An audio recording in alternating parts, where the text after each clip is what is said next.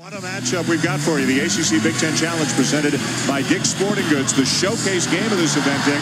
Number six, Michigan State. Number one, Duke. The Big Ten may be on the verge of winning this event for the second year in a row after the ACC won the first 10 challenges between these two conferences. Love the way Duke players catch the ball and immediately are in triple threat position. Irving dumps it down. Mason Plumlee lays it in. You saw him have an incredible game against Marquette last week. A smaller look lineup now for Michigan State. Thornton is a former walk-on has actually started three games this year. Wide open Irving. Can't allow him to shoot the ball. That is one of the premier diaper dandies in America. He has lived up to every billing coming out of St. Patrick's High School in Elizabeth. Thornton trying to take it the distance. Irving the block. And missing the follow is Summers. Now watch right now the great defensive effort in transition. There he is with the left hand. Great timing. See, this Duke team plays much faster than the team did last Yeah. year. And that guy is a big reason why. Irving, a, a great blend of size and terrific speed. Single the miss. Mason Plumlee in traffic. A clean block. What a steal by Irving. Count it.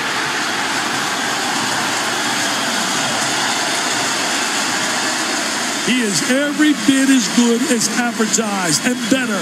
He was brilliant in the CBE Classic. Brilliant. He got the MVP. There's the rebound. Plumlee gets it blocked.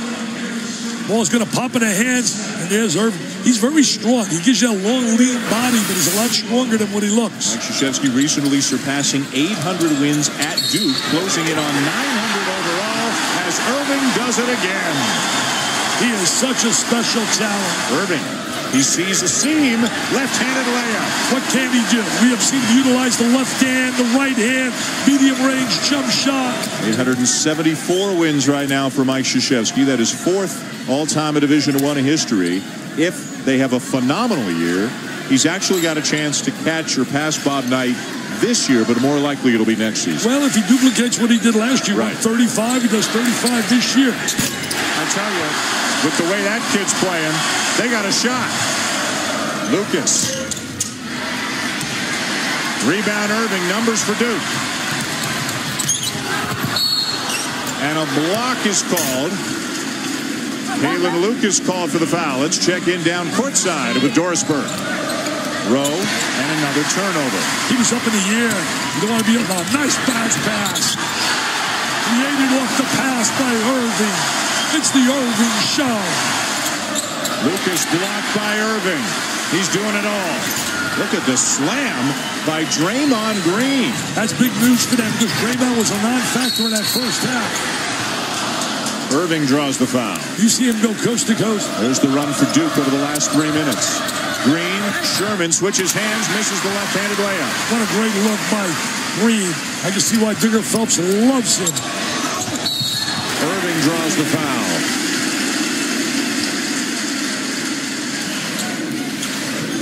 Word we're hearing is Mason Plumlee could return tonight as the tough layup goes for Irving. He returns, I'll tell you that. What a jet he is to the basket. Look at this kid handle the ball. Are you serious? Are you serious? Come on now. How good is this kid? Jason Williams, I know you're watching. What do you think, my friend? Oh, he is special. I want to hear Jay and Hubert and Digger. Duke will extend its non-conference home winning streak to 81. With an 84 to 79 win here tonight, Kyrie Irving has got a right to be pumped up. The freshman had an incredible night, 31 points, leading Duke to the victory.